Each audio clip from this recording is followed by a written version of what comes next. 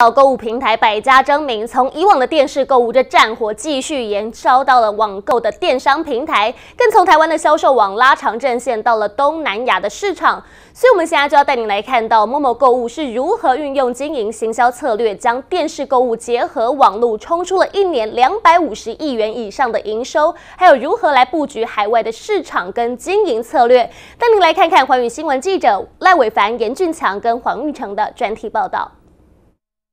四、三、三、二、一，进。当然哈，今天这个档次很特别，你有没有看到我们发上的价格？主持人一答一唱，卖力介绍商品，搭配时不时营造的抢购氛围及赠品优惠，从电视机中抢攻你我荷包。哎，你好，就上次有联络你来领那个样品，字卡存图搭 PC 啊。就是要卖一些比较特别的东西，就是它，因为电视购物它的长处就是它能够有很长的时间，比如三十分钟让让你去阐述一个商品。好商品就不怕没人买，自信说出销售关键。他是 Momo 电视购物总经理林启峰，在他的带领之下，拥有三个频道的 Momo 购物也要成为电视购物龙头，去年营收冲破两百五十亿元。One two three four。为我们有电视，能够无时不刻的去提醒消费者，我们有一个网站，所以无形中帮我们省了很多的。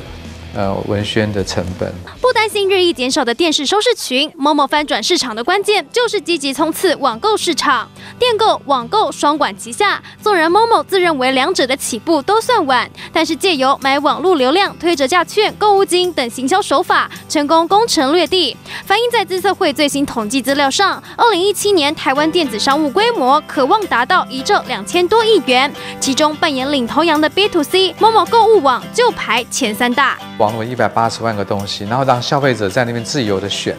他透过搜寻去找到的，所以我当然可以知道说现在整个时代的脉动，所以你会比别人更清楚知道说消费者现在在找什么，甚至他没有买，我光从他搜寻的每个画一画面停留的秒数，我就知道现在大家在看什么。这个策略，某某网购发展之初靠的是女人。主攻女性商品，靠消费主力冲高购买率，客源稳了，品质当然是根本。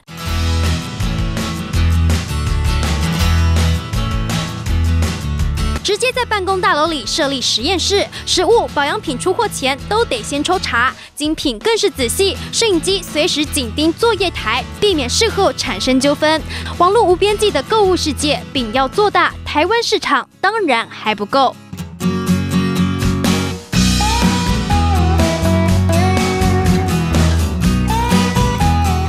แล้วอึดแล้วทนเพราะอะไรครับเพราะฟังก์ชันการใช้งานเทียบเท่าราคาหลักหมื่นแต่泰国人我们刚去的时候，他们都说泰国人没有摸到东西，他们不愿意买。但后来其实我们去拿了一些国际的数据，发现其实泰国已经很多人他们到美国去买东西，所以很多时候在一个新兴的市场里面，他们的假设不见得是对的。选择到有六千万人口的泰国开疆辟土，目前在泰国的营收一个月约一亿元新台币。 我觉得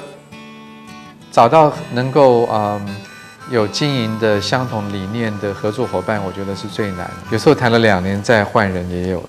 在摸不到商品的网络购物，让消费者按下订单的就是信赖。抢进泰国市场后，Momo 也评估与菲律宾、马来西亚、越南等当地业者合资，扩大布局东南亚市场。借由打亚洲杯，也让台湾商品能够搭上销往世界的购物车。